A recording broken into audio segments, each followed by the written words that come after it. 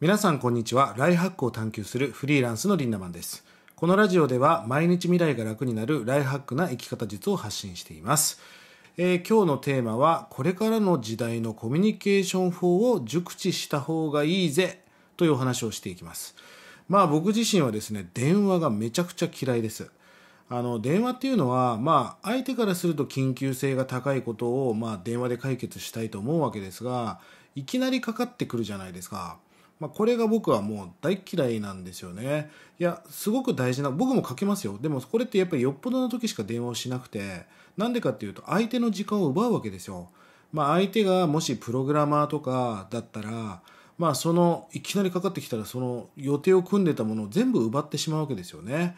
でまたこれ電話をかけてくる人の用事をねあの深掘りするともう大した用事じゃねえなってこと結構多いんですよね。それって電話じゃなくてもよくねみたいなことがよくあったりします。あの海外ではですねボイスメッセージを活用する人がめちゃくちゃ多いんですね。日本ではあんまり浸透していませんが、まあ、例えばこう WhatsApp っていうメッセンジャーを使ってる人が多いんだけど、まあ、声でねあのトランシーバーみたいに「アリーナマンだよ今日この要件なんだけどこれやっといてくれる?」みたいなまあ、声で送れるから手打ちしなくていいから、まあ、めんどくさくないですよね。まあ、これは実は LINE でもできる機能で便利なんです。ただ、いきなりこう2分とか3分、長い人5分とかのボイスメッセージを送ってくる人がいるんで、これ全部聞くの結構大変なんですよね。ものすごく便利なんだけど、そういうツールなんだっていう、そういう機能なんだっていうのを理解しとかなきゃいけない。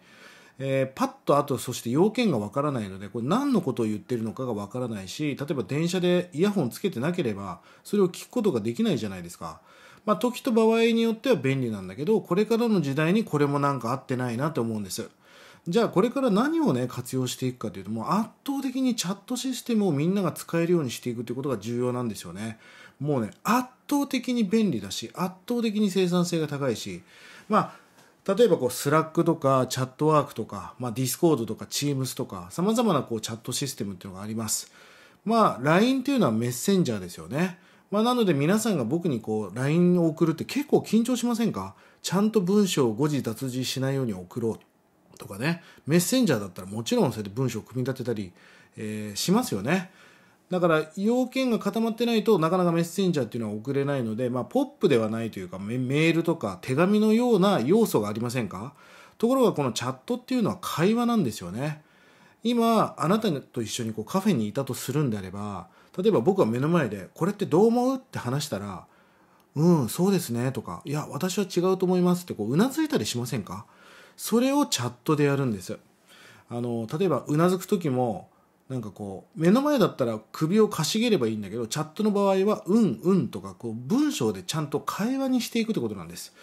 しかもねチャットっていうのは今目の前にカフェで座っていなくてもできるんです。例えば僕が昼に投げた話に対してあなたが夕方空いた時間に相づちを打つ。そしてその相づちに対してまたね1時間後に返信をしてまたその返信をしていく。まあ今まではわざわざこう、 Zoom とかで時間をブロックして、この時間に打ち合わせしようみたいな。まあお互いの人生の時間を例えば1時間とか奪っていたわけじゃないですか。でも、このチャットっていうのを活用することによって、お互いのデッドスペースで会話を進めていくことができるんです。しかも、ログが残るから、後でね、検索することが可能なわけじゃないですか。これってめちゃくちゃ便利だと思いませんか？